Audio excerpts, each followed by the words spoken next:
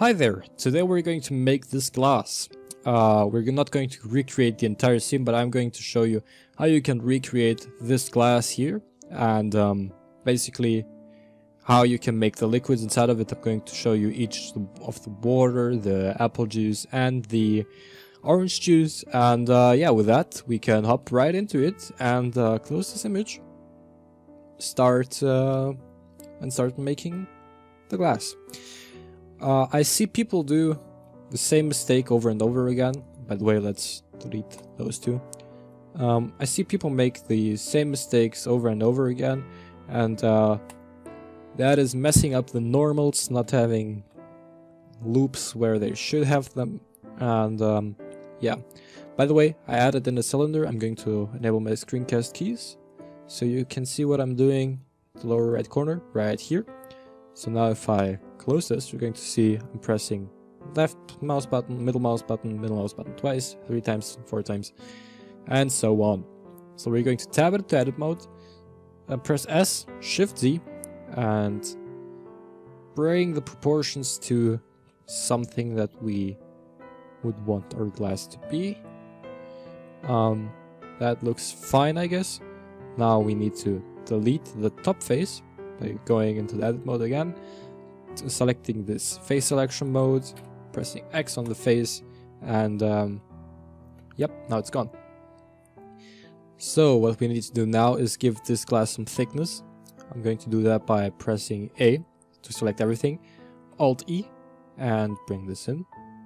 I'm going to make fairly thin glass, raise the bottom a bit, because if you look at the glass, it's usually uh, thicker at the bottom than on the walls.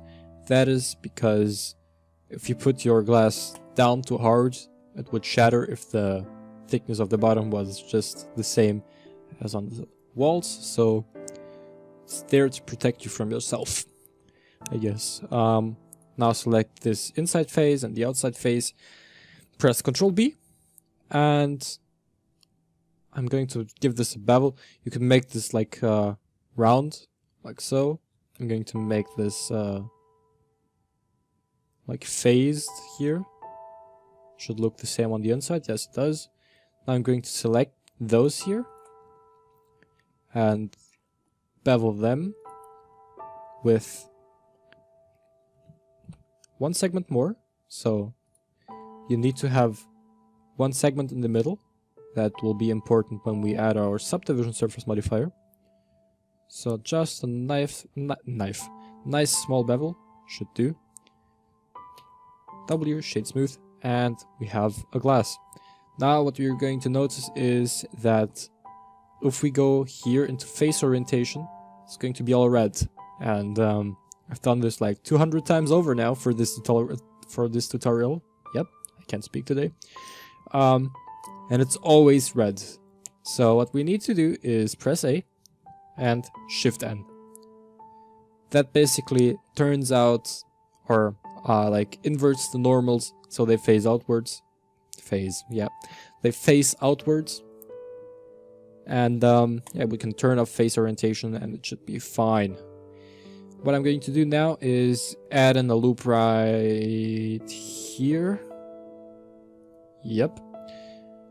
And now what we're going to see is that every glass has a lip and it's going to look absolutely unrealistic if your glass does not have a lip. So just make a lip right here by doing exactly what I did, like uh, adding in an edge loop, Control E, uh, oh, no, Alt E, and uh, extrude face along normals, and you should get that. Now we need another edge loop, right up here to tighten that up and looks good I guess. What I did in my glass you don't have to do it. You don't have to do any of these decorations except the lip um, that I'm doing. But um, yeah I just gave mine a touch of myself. So I made an inset here by selecting them pressing I then I hit E and then Z brought those up. And um, yeah, looks kind of neat, so I did it. Okay, now what we need to do is get that face, uh, no, those rings on the inside, like right here and right here. Then we need this ring and this ring. And bevel them as well. Give them a nice bevel with just one extra loop. Looks like this. And our glass should be just about done. Let me see. Yep, should be just about done. But this is not really looking like it should. So let me just go ahead and... Nope, I just want this. Control plus. Bring it up. Want this to be a little bit more flat. Obviously, don't you don't want this to intersect with any of these, so I didn't fix a mistake. I just made it look a little nicer, in my opinion. Now let's add an, a new prox proximity loop here. Proximity loops are basically uh, loops that tighten up the normals at edges, so you can see how these normals get pushed along. It's like up here. Yep, and now if we add a subdivision surface modifier by pressing Ctrl 2, should add a modifier here, you can see it looks absolutely nice. Really good. You have that lip here. You could make it more or less noticeable by um, just making it smaller or bigger. Uh, really anything is fine. I'm going to get this loop here, scale it in a little bit, like so, and bring it up a little bit to make this more round. This is, by the way, uh, this lip is, by the way, for your teeth. So when you hit your teeth on the glass, uh, the glass doesn't shatter in your mouth. so, again, you're just being protected from yourself to not cause any damage to your mouth. So, anyways, enough facts about glass. Let's just um, let's just do some shading. Get this, press uh, G, Z, and then by holding Control, you can snap it to the grid, and it should look like this. Uh, I put my cursor over here, so I'm going to press Shift S, cursor to world, world origin, and um, yeah, create a plane, Shift A, scale it up, bring this a little bit down because glass looks awful if it's not clipping through the ground at least a little bit. So this is already fine, but it needs to clip just a bit. Okay, now we can go into shading mode, um, into the shading workspace, select cycles, and um, now we're going to give this a material, new, base color, I'm going to make mine black, roughness 2.4, and glass. Now with the glass. Press new uh, transmission. That is what makes it glass. So put that to 1 and you can already see it looks like glass.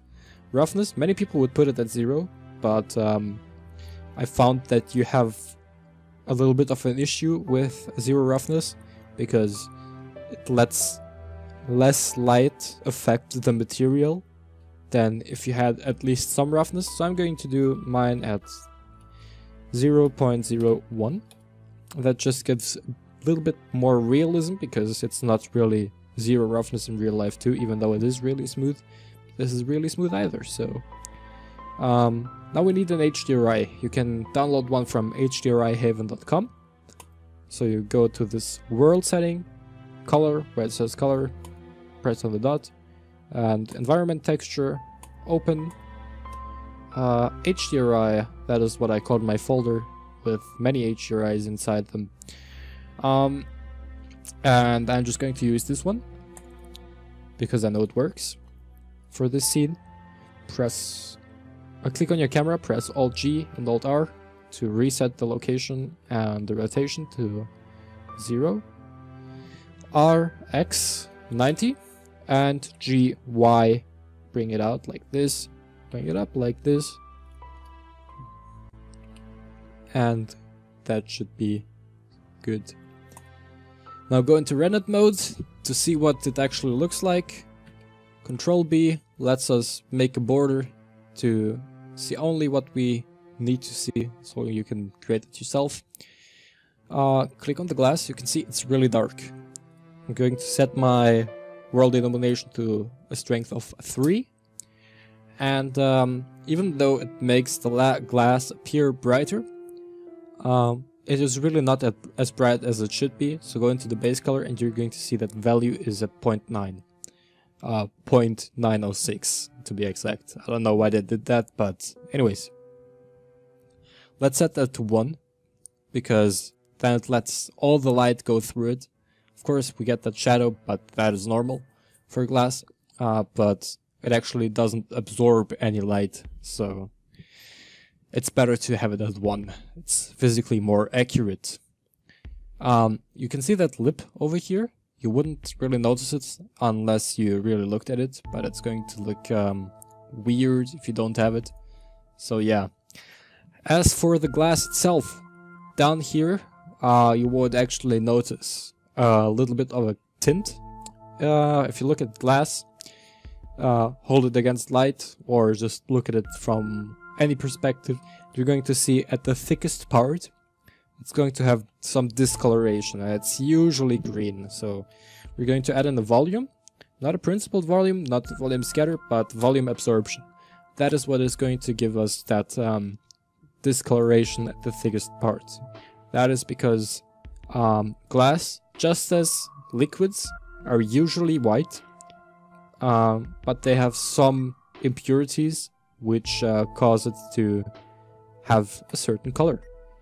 Um, so yeah, go to color, make this some turquoise, turquoise, however you want to call it, um, color, and you should already see it being a little bit discolored and that is good. You can make it more noticeable by increasing the density to like 100 and you would have a fully stained glass that is really realistic.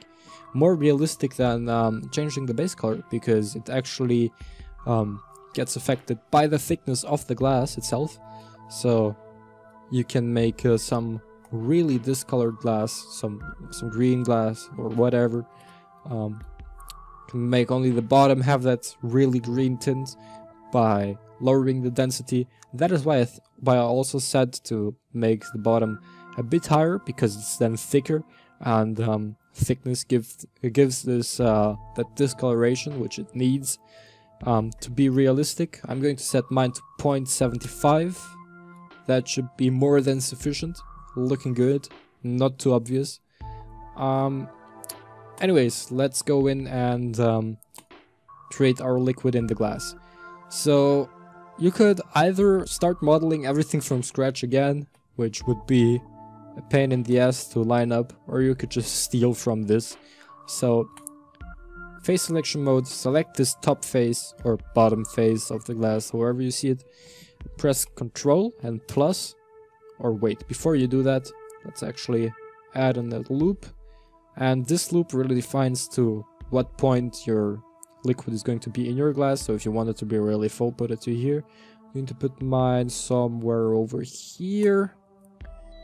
Now selected face, control plus a bunch of times until we get to that line. And duplicate it. Now press right click to snap it back to where it was. Press P, selection, exit edit mode, and select only that.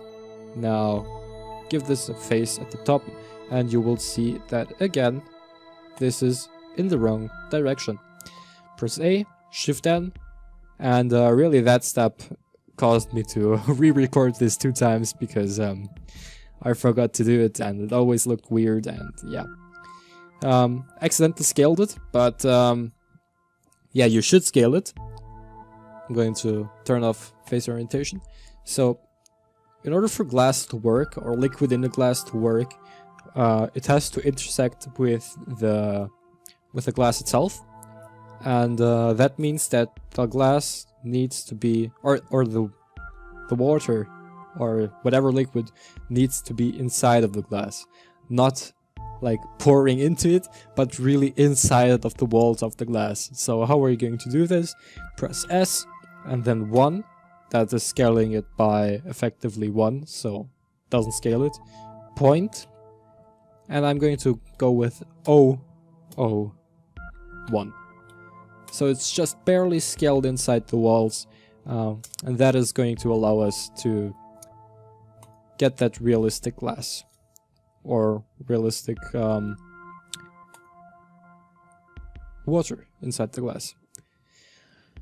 My brain is really working slow today. Um, as you can see, looks weird uh, because of the volume absorption. And also we don't have uh, subdivision surface enabled, which we will leave turned off. So I'm going to make this separate. So I'm going to make this a separate material, like this. And uh, now I'm going to delete this volume absorption. You're going to see that it clears out. Uh, but now we're getting this really black outline, which you would also have if you weren't um, subdividing this, I guess. Um, with proximity loops and everything. So how do we take care of that? Well, easy. We're going to select our liquid enable subdivision surface that allows it to look like this, uh, which is not really what we need. So add an, an edge loop, like so, bring it right to the top. You can see it still looks weird. Inset this once, like so, and should really have like a thin dip here. And now what, we, what you will see glass do, it's uh, a part of surface tension, it will have like a slight dip over here. So just bring it down like so and another inset. And if you were to enable this, it looks like this. It's maybe a little bit extreme. So let's bring it up just a tad, like so. It's really micro scales here, but uh, it all leads to better end result. Let's go in here and see what it looks like. With the subdivisions and uh, the proximity loops, looks absolutely amazing. Looks like real water inside the glass. Almost.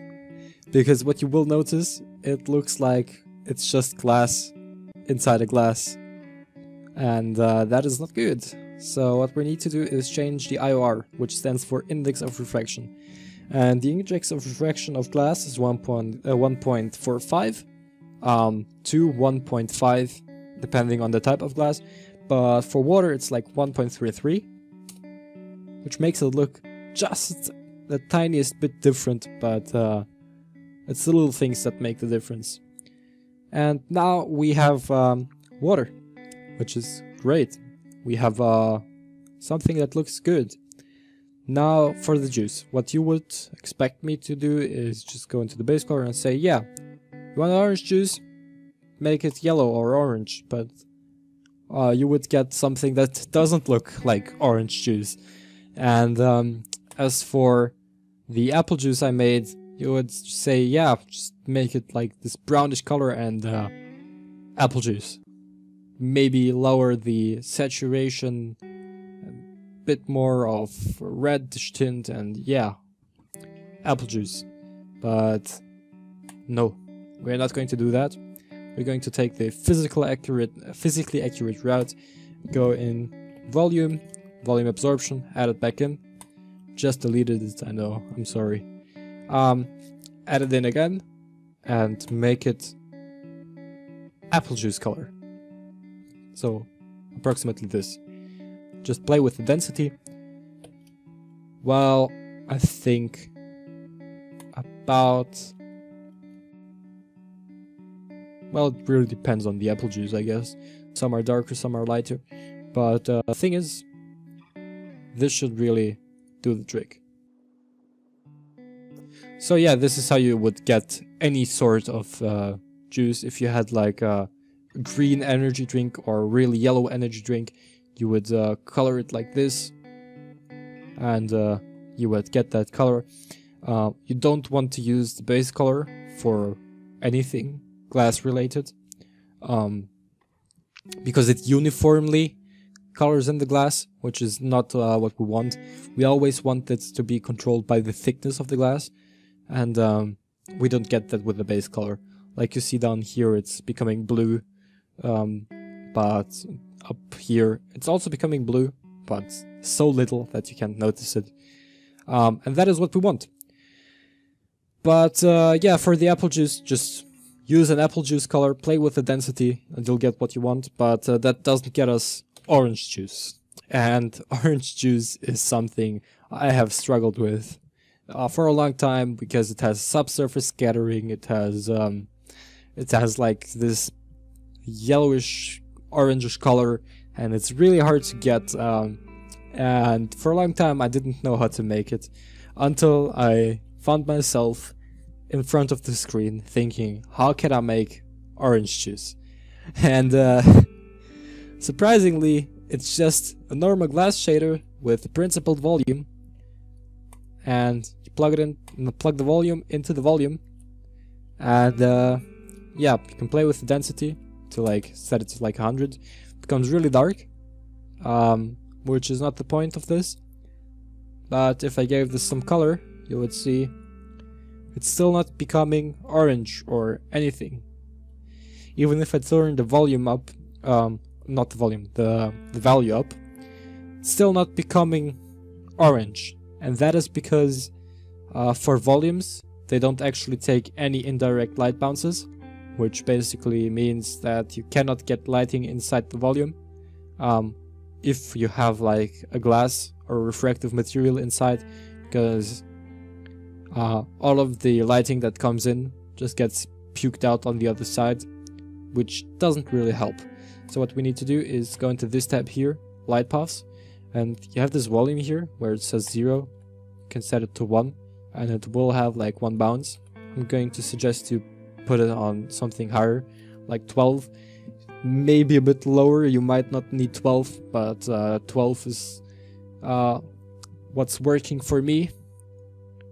And um, this is going to become really noisy really quickly, so I suggest you uh, make your render part here a lot smaller.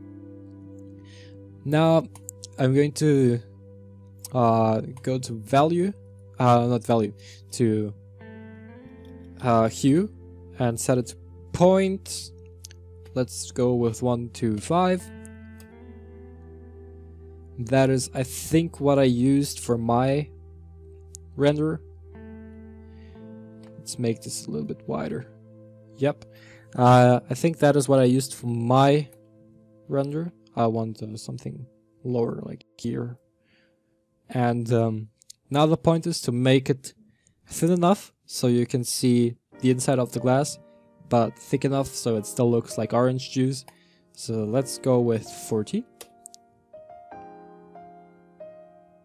And I think I might just speed this up so you don't have to wait this long.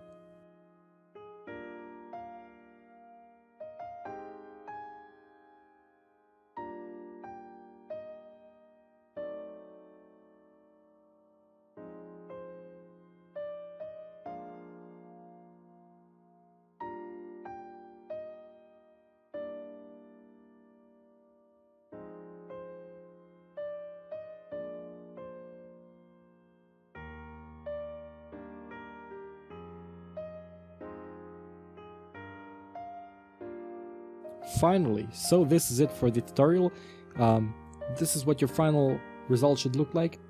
Um, hopefully you can impress your friends with realistic glass without messed up normals, good topology, um, proximity loops where you need them, uh, this little lip and the minor details uh, like uh, being able to actually see a, a lip here, um, the the fluid being refracted in the glass so it's uh, right on the outside wall.